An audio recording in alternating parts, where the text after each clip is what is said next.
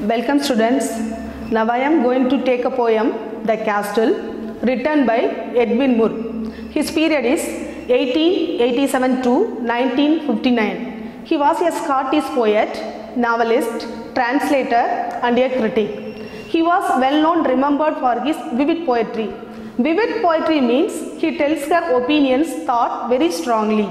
His famous another poems are The Private Palace and The Voyages. In the poem, the poet describes the fall of a castle. In the main reason for the castle is gold, not a human being. In the poem, the poet is a soldier in a castle who describes how the castle is captured by a soldiers. Now we go through the poem. First we go through the poem throughout. All through that summer at east we lay, and daily from the turret wall we watched the mowers in the hay, and the enemy half a mile away. They seemed no threat to us at all. All through the day, summer at east we lay, and daily from the turret wall means the soldiers from this poem, the poet described they are stress free and free all the summer days. They have only work is they are watching the mowers. Who is mowers? They are maintain, maintaining the gardens, cutting the grass and maintaining the gardens. That person only called mowers. They are watching the mowers only. And on the turret wall, turret wall means a tower on the top of the castle. They are watching the mowers they are not watching the uh, enemies from the other countries then on the enemy half a mile away they seemed no threat to us at all the enemies are half a mile away from her castle but they do not have any fear at all here in the five lines there are some poetic devices are used here some poetic devices are used in this poem first now, uh, we are going to see the rhyming scheme of the poem Rhyming scheme means the last letter, all letter coming one letter like lay, hey, away. This one is called A, A, A. Then the second one is L, B, B. So the rhyming scheme of the four lines is A, B, A, A, B. This one is rhyming scheme of the poem. Rhyming scheme. Then the rhyming words lay, hay, way. Then the rhyming words all, all. That's all. There are no figure of speech in this line. Only rhyming scheme and rhyming words are in this four, five lines first para. From second para forward, we thought had we to fear with our arms and provender load and load. Our towering battlements, tier on tier, and friendly alleys drawing near on every leafy summer road. From first, first para we know they are do not get any fear. The enemies are half a mile away from the castle. But the second para for what we thought had we fear without our arms and prevent a load and load. Why the soldiers are do not get any fear because they have enormous arms. Arms means tools. Tools are weapons. And provender. Provender means food. They have enormous food and arms. So they didn't get any fear. Then our towering battlements. Towering battlements means a tall tower on the castle always opening for shooting others. That place only called towering battlements. Dire on tire. Then unfriendly allies drawing near. Our friendly allies. Here the meaning friendly allies means people those who are help the nation. Armed forces. That persons only call friendly allies. Then on every leafy summer road. Why the poet described here the leafy summer road? Only the summer season only the leaves are shut down the leaves on the road. Then only the poet described the leafy summer road. Here the poetic devices are the poetic scheme. Rhyming scheme is fear, tire, near. Then load, road. So once again the uh, uh, rhyming scheme is A, B, A, B, A. Okay, wow. A, B, A, A, B.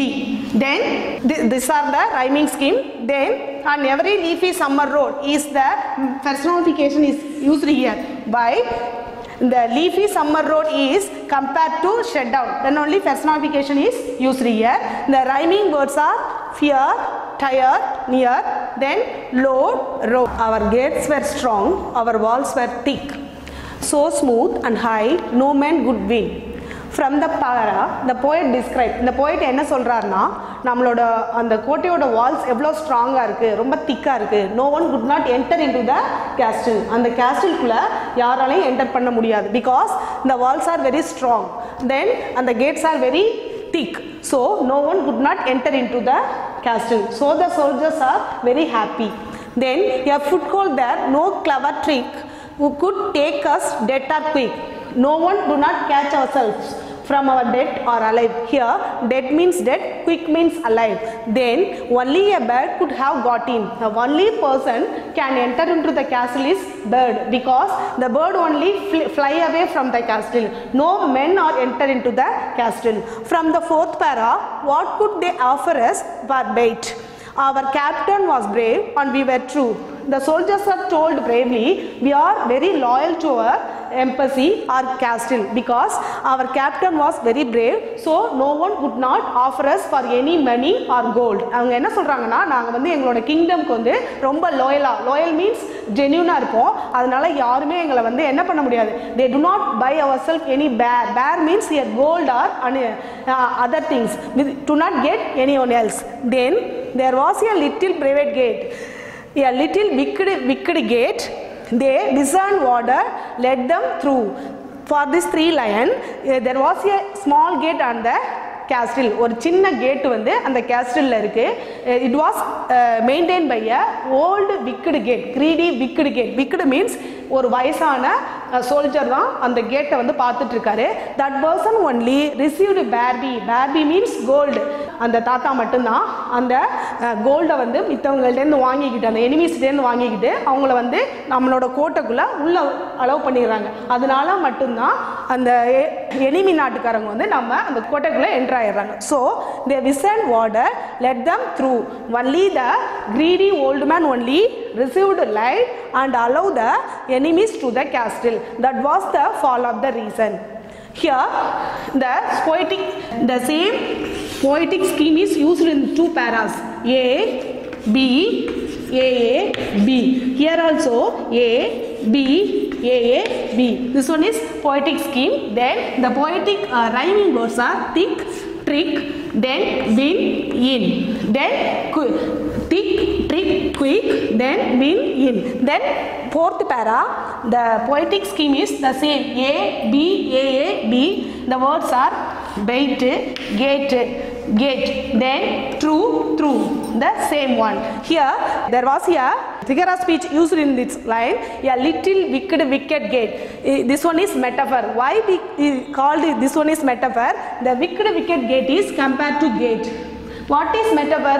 Something or someone is comparing to the other one. The same quality like others. That one is called metaphor உருவகம். தமிழ் என்ன சொல்லுவோம் உருவகம் சொல்கிறோம்ல ஒரு பொருள் வந்து இன்னொரு பொருளை போல் ஒத்து இருந்துச்சுன்னா ஒன்றுக்கு இன்னொன்று கம்பேர் பண்ணுவோம். அதுதான் என்னது? Metaphor that poetic device only used there on then our maze of tunnelled stone maze means தந்திரம் தென் டனல்டுனா என்னென்னா சுரங்கம். That stone grew thin and treacherous as air எப்படின்னா அந்த வயசான அந்த கிரீடி காட் வந்து அந்த நம்மளோட எனிமீஸை வந்து நம்ம கோட்டைக்குள்ளே அலோவ் பண்ணதுனால நம்மளோட அந்த எல்லாமே அந்த ஏர் மாதிரி சுருங்கி எல்லாமே இன்சைடில் வந்துருச்சு.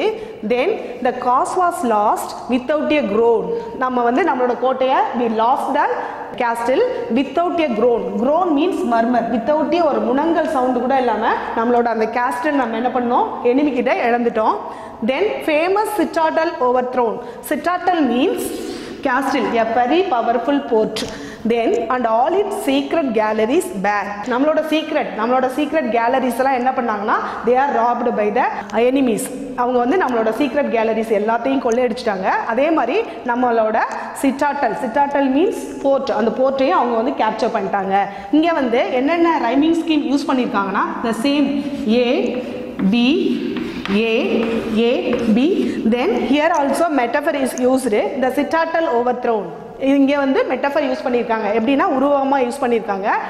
Some one or something is quality like others that one is called metaphor so like things only here used famous citadel over throne then and it's all secret galleries back then from the last para how can this shameful tale be told I will maintain until my death we could do nothing being sold our only enemy was gold and we had no arms to fight it with the soldier told it was a very shameful act to us because they do not uh, loss our castle we do not do any heroic bite without casting நம்ம வந்து எந்த ஒரு heroic ஆக்டும் இல்லாமல் நம்மளோட கேஸ்டில் வந்து enemy கிட்ட தோத்துட்டோம் because one of our soldier நான் எங்கள்கிட்ட இருக்க ஒரு சோல்ஜரோட துரோகத்தால் நம்ம என்ன பண்ணோம்னா எல்லாத்தையும் எதிரிக்கு கொடுத்துட்டோம்.